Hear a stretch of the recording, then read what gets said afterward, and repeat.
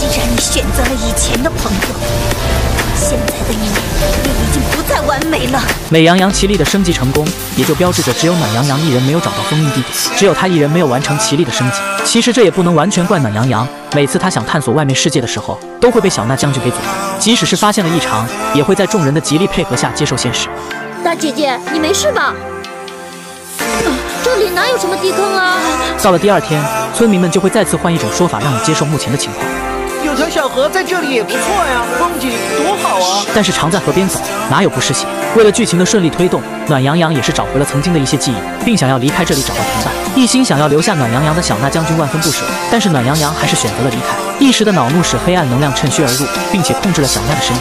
从小被宠坏的小娜见不得自己的世界存在不完美，召唤黑暗能量攻击暖羊羊，甚至把自己的妹妹打成重伤。也许这时候只有美羊羊他们可以打败她，毕竟在封印古迹中，美羊羊可是凭一人之力打败了姐妹二人。经历一番战斗之后，美羊羊也是成功的和暖羊羊会合，并且在红太狼的帮助下，顺利的找到了封印武器，完成最后一人奇力的升级。与此同时，灰太狼也即将担任首席大将军。他先是嫁祸爱美将军，帮助慢羊羊解围，成为新的国王。